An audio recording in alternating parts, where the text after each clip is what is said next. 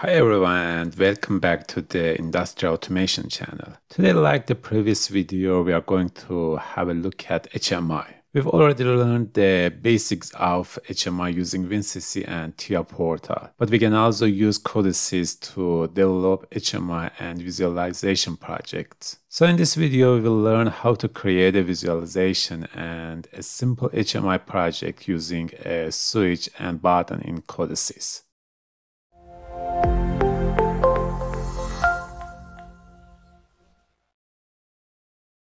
As you know, HMI stands for Human Machine Interface and is a user interface used by an operator to interact with a machine, system, or device.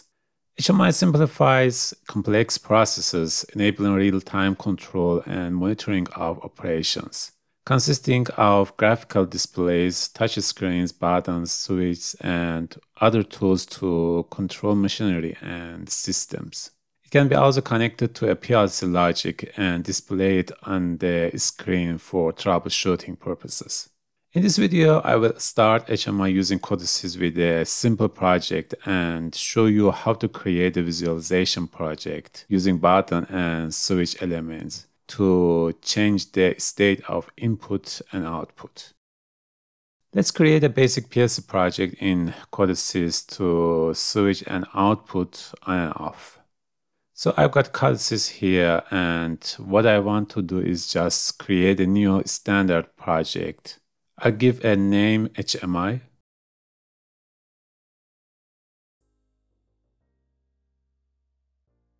Select the device and programming language. I'm going to use simulation and for now let's create a project using ladder logic. Double click PLC program.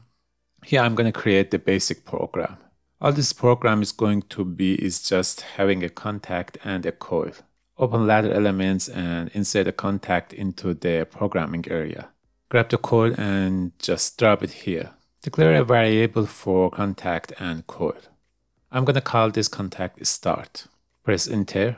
Auto declare windows will be opened. Data type boolean. And coil that I will call it lamp.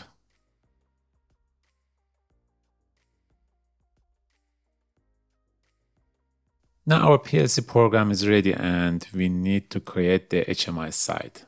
Right click the application, go to add object and then select down here visualization. This Windows pop-up as it's written here gives you an option to add this Codesys library to the project. It consists of some graphical objects that we can use them to configure our visualization project. I'm going to activate this option, click add and now our PLC project is going to add the HMI to this as well. Now visualization is added to our project. If you look at the right hand side, you see the visualization toolbox. These are the tools that we can use to create our HMI project. You see here a little tab called symbols. When we wanted to create our HMI, Codesys asked us about a symbol library to add to the project. If you click that, these are the symbols of this library that will be added here and we can use them inside our project. To create, for example, little buttons and other little icons. If you go to the basic, you see the basic elements like rectangle, line, circle, etc. You can also add images to your project. If you go to the common controls, you see other elements like button, table, and scroll bar. Inside the lamp, switches, bitmaps, you will see lamp and different kinds of switches. Since we have a start and a code in our PLC program, I'm going to use a switch with a lamp inside our visualization. I want to control the lamp with the start switch. Here is our lamp. Drag and drop it into the project. If you click on the lamp, you will notice at the right hand side, you've got properties toolbar. Here we can change some properties of our lamp. Assign an individual name for the lamp element so that the element is found faster in the element list. We can change the position and size of the map. The x and y coordinates in a uh, pixel are the position of the upper left corner of the element. I'm going to change these numbers.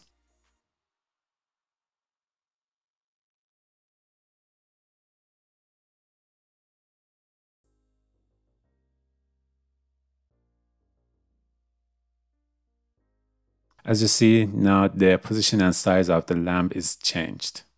We can also change the values by dragging the box symbols to other position in the editor.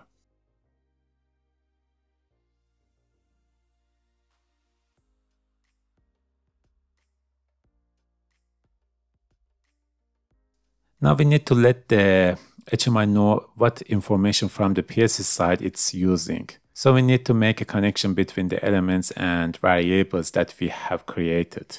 In the properties toolbars and variables, if I click here, I'll get access to the variables. So open application and PLC program.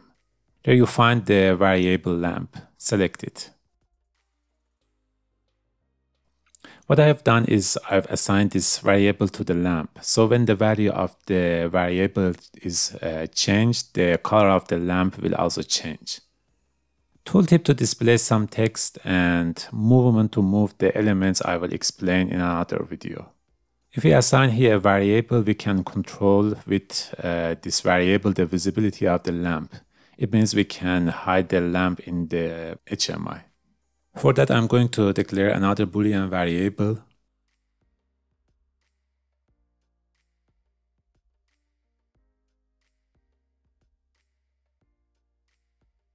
Assign it to the invisible property.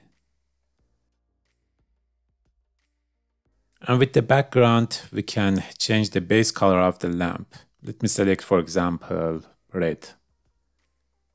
Go back to the visualization toolbar and now select the switch for start contact. How these switches work is similar. So I'm going to add dip power and rotary switch to show you.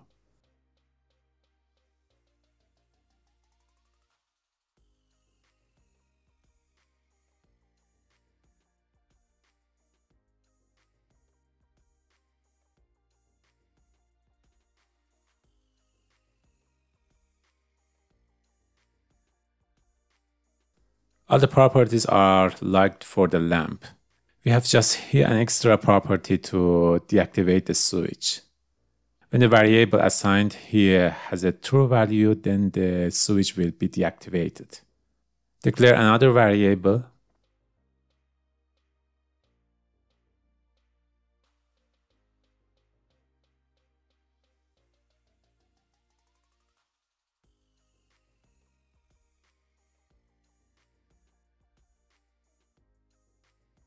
Select this variable here.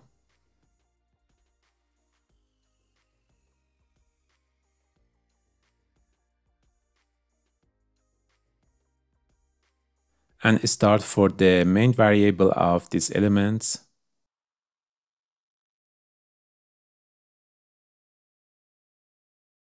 And also we can set here the behavior of the switch when it's pressed in HMI. With the image toggler, if we press the switch, the variable value will be changed. And if we release the switch, the value will not change back to the previous state. If we want to change back, we need to press it once again. But with an image tapper, as long as the switch is pressed, the value will change. And when we release the switch, the value will return to the default value. Let me copy this and change for the second one to image tapper.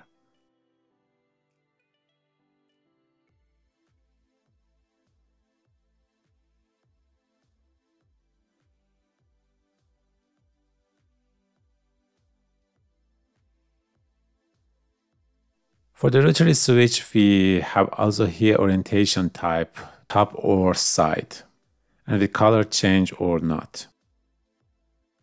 I'm going to copy this switch to see the difference better. For the second one, orientation at side and with color change.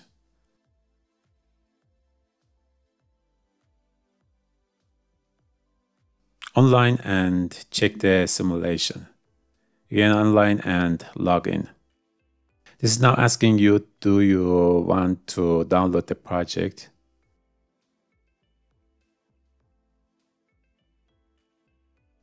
As it's written here, we need to start the PLC.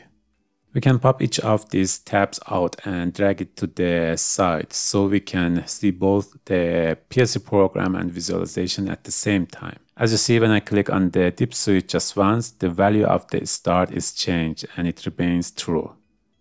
So the value of the code is changed and the lamp is turned on. If I want to change it back to false, I need to press the switch once again.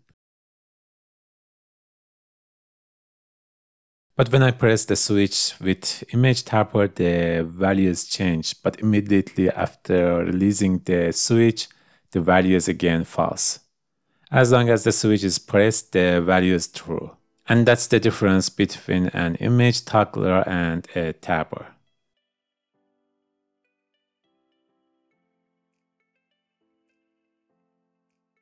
As you see, other switches behave similarly.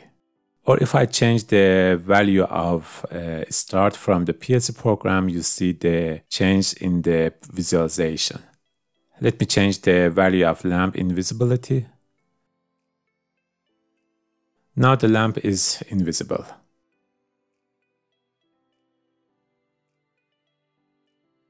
If I write the value of true to the variable switch deact, As you see, now the switch is not working and it's deactivated. I'm pressing the switch, but nothing changes.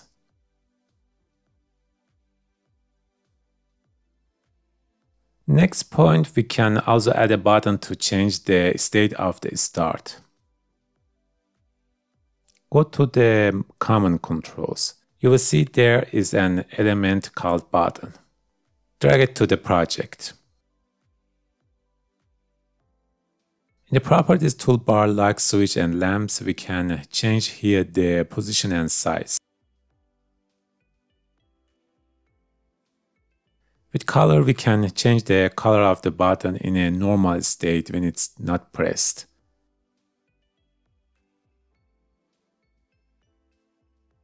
We can even change the transparency of the color. Alarm color is the color of the button when the alarm state is activated.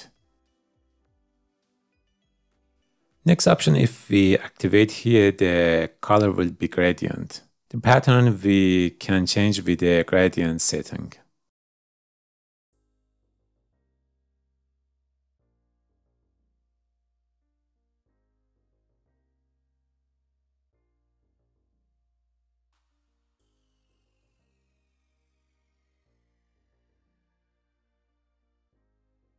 If I open text, here in front of the text, we can write what we want to show on the button itself. So if I type here start, you will see start here as well. We can also click inside of here and change the name here too. Using text properties, we can change some properties like font, size, and color of the text. Here we can change where the text should be center of the button, left or right side, or vertical position of text, uh, top, center or bottom. Text format is used when the text inside the button is long. With default, the text which is uh, too long is truncated. Line break, the text is split into lines. Ellipses, the visible text ends with uh, three dots indicating that it's not complete. With font, style of the uh, font can be changed.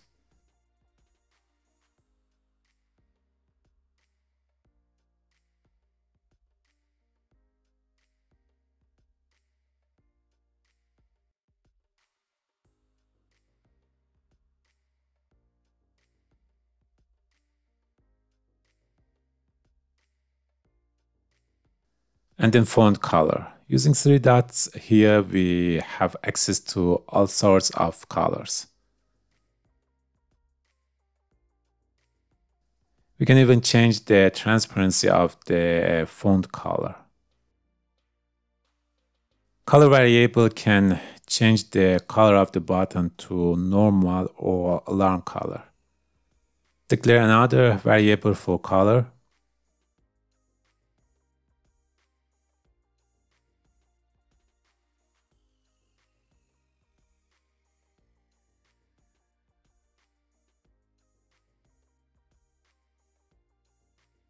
Invisible and deactivate properties are exactly like what we have for switches. Open input configuration. You see here different types of variations. Toggle will change the variable state between true and false. So when we click the button once, it will change the state to on. And with another, the previous state will be changed to false, like image toggle in switches and with a tap, the value will be true as long as the button is pressed. If I activate the tap false, when I press the button, the value will be changed to false instead of true.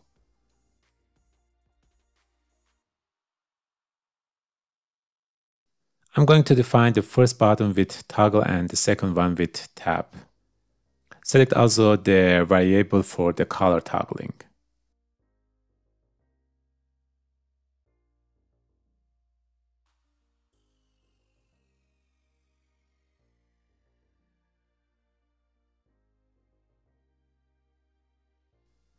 Simulate the project.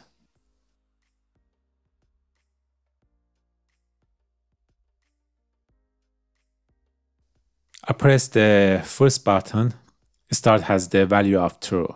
When I release it, the value remains true. With another press, the value is again false. But the second one changed the value to true just when I press the button and hold it. Change the value of the variable for alarm color.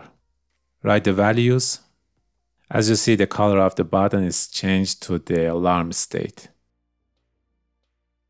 Okay, next what I want to show you, just line these things up. So keep it a little bit neat. Click on these uh, elements and then right click. Go alignment and then here align horizontal center. You see these elements line up from here. Or you can align vertically.